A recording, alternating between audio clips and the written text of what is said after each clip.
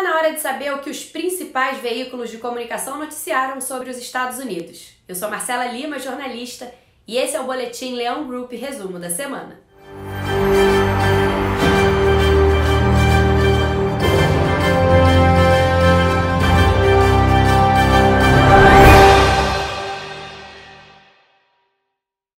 Vamos começar falando da pane que rolou essa semana no Facebook, Instagram e WhatsApp.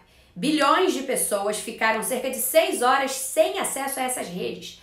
De acordo com o Facebook, o que provocou essa pane foi uma falha nos roteadores de backbone. O que é isso, gente? Backbone do inglês espinha dorsal são as ligações centrais em um sistema com várias conexões. O Facebook, por exemplo, tem servidores espalhados pelo mundo inteiro que são gerenciados por esse backbone. E durante uma manutenção de rotina, acabou rolando essa falha aí que gerou uma porção de memes na internet. Muita gente estava dizendo que o Mark Zuckerberg tinha tropeçado nos fios. Pois então, eis aí a explicação da pane. Espero que eles tenham corrigido de vez, porque foi uma treta danada ficar sem esses aplicativos. Aproveitando esse gancho de redes sociais, vocês sabiam que os Estados Unidos usam pouco o WhatsApp, considerado o aplicativo mais popular do mundo? Cerca de 2 bilhões de pessoas usam o app em 180 países. E justo no país onde ele foi criado, as pessoas não dão tanta bola para ele assim. Uma pesquisa realizada pela Pew Research Center revelou que menos de 20% dos usuários de smartphones usam o aplicativo. E um dos motivos que explicam isso é que a maioria dos americanos com plano de telefonia móvel prefere mandar mensagens via SMS.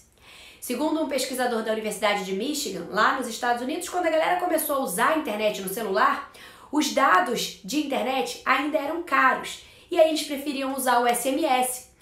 Aí, mesmo hoje que existe Wi-Fi em praticamente todos os lados, o hábito do SMS acabou ficando entre os americanos. Curioso isso, né? Eu nem sei mais o que é o SMS. Eu só usei, para falar a verdade, quando teve essa pane aí durante essa semana. E vocês, usam SMS? Me conta aí nos comentários. Foi apresentado essa semana no Congresso americano um projeto de lei que tem o objetivo de barrar a importação de produtos de países com alto índice de desmatamento. A Lei Florestal 2021 tem como alvos a devastação ambiental e o aquecimento global. Um dos países que podem ser afetados, caso essa lei seja aprovada, é o Brasil, que exporta muita carne e couros processados para os Estados Unidos. Só no ano passado eles compraram do Brasil cerca de 500 milhões de dólares nesses produtos. A lei tem até novembro do ano que vem para ser aprovada. Se isso ocorrer, os países que quiserem continuar exportando seus produtos para os Estados Unidos, e aí não só a carne que eu usei como exemplo, mas também itens como soja, cacau, borracha, madeira, terão que comprovar que toda a cadeia produtiva passou bem longe das áreas ilegalmente desmatadas. E para finalizar, vamos falar rapidamente sobre o cenário político e econômico. Existe a possibilidade de calote da dívida dos Estados Unidos. O país tem um limite para se endividar que é cerca de 28 trilhões de dólares. Esse é o teto da dívida.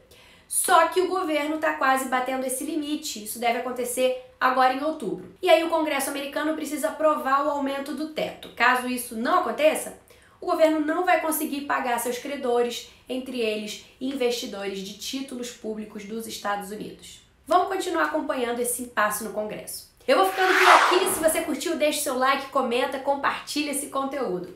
Eu vejo vocês no próximo boletim. Até lá!